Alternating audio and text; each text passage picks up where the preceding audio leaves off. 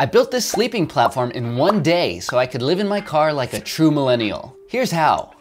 First, take great measurements and develop a plan. Then measure the 2x4s and cut to size. Drill pilot holes and screw together the frame.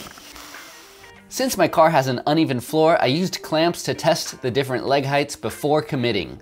The platform is level and steady in the car, so I drilled holes and bolted on the legs nice and tight. Then I trimmed the legs flush with this Japanese pull saw and sanded away any splinters. I cut half inch plywood into two 3x4 foot sheets and the fit is so tight I had to round off the corners just a tiny bit. I added this piece for more support and this is how things fold up while driving. Then with the seats pulled forward, everything fits nice and snug and this big boy is ready to rest.